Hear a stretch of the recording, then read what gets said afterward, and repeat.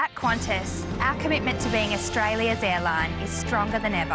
And although we fly to places all around the world, we still call Australia home. We already have over 2,000 flights each week to and from regional Australia. And we've just committed to the largest ever expansion of our regional fleet. After all, it's where we began over 86 years ago. And it's where our heart still lies today.